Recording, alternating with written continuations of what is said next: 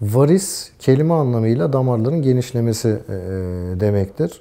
Özellikle bacak damarlarını ve özellikle de e, kadınları daha fazla etkileyen bir hastalık olup e, bacak damarlarındaki toplar damarlarının içindeki kapakçıkların fonksiyonunun bozulması ile birlikte de beraber görülebilen ve damarların genişlemesi sonucu damarların dışarıdan görülebilir topaklaşmasına yol açan ya da bu damarlardaki basınçların artması sonucu kılcal damarlarda genişletme, genişleme, örümcek ağı oluşumu gibi e, bulgularla ortaya çıkan bir hastalıktır.